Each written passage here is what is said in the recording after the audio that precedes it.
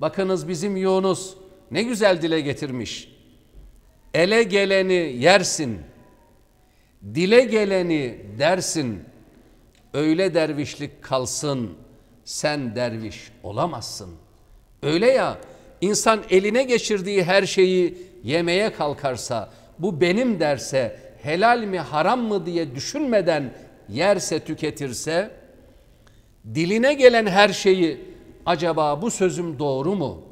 Acaba bu sözüm gerçek mi? Hakikat mi?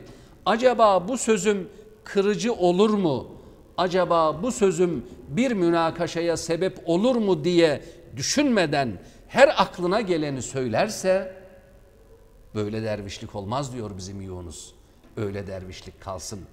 O yüzden insan eline geçene bakmalı. Bu helal mi, haram mı? Aklına geleni düşünmeli, diline geleni düşünmeli. Acaba bu söyleyeceğim söz doğru mu, yanlış mı? Bu sözün yeri burası mı? Bu söz bir kalp kırmaya vesile olur mu diye düşünmeli. Gerçek Müslüman olmak için buna dikkat etmeli diyor. Değerli kardeşlerim, bakınız yine Yüce Rabbimiz şöyle buyuruyor ayet-i kerimede. Bismillah ve kul li ibadi yegulul leti hiye ahsen. İsra suresinde yer alan bu ayette Yüce Rabbimiz şöyle ifade ediyor. Kullarıma söyle, sözün en güzelini söylesinler. Bize böyle bir emir var. Biz böyle bir sorumlulukla yüklenmişiz. Yükümlü hale gelmişiz.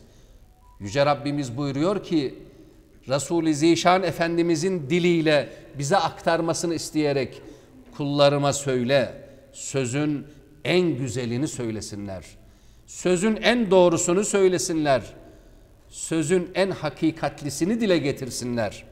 Sevgili kardeşlerim, yine bizim Yunus ne güzel dile getirmiş bakın. Dilim hep sene ansın, gönlüm hep sana yansın. Sevginle çarpmayan yürek sinemde barınmasın. Evet, dil bir şeyler söyleyecekse Allah demeli. Yürek bir şeyler hissedecekse Cenabı Hakk'ı düşünmeli değerli kardeşlerim. Bakınız Ahzab suresinde de Yüce Rabbimiz şöyle buyurmaktadır. Bismillah. Ya eyyühellezine amenu ittakullaha ve gulu kavlen sedida. Ey iman edenler! Allah'a karşı gelmekten sakının ve doğru söz söyleyin ki Allah sizin işlerinizi düzeltsin ve günahlarınızı bağışlasın.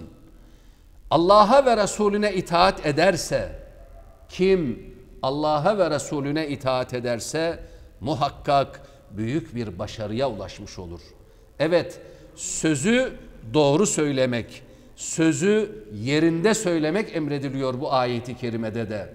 Ve Cenab-ı Hak ayetin sonunda kim Allah'a ve Resulüne itaat ederse büyük bir başarıya ulaşmış olur diyor. Şair dilinden ne kadar çok çektiyse eğer bakın dile getirmiş. Dilim başıma ne geldiyse senden bileyim. Seni dilim dilim edeyim.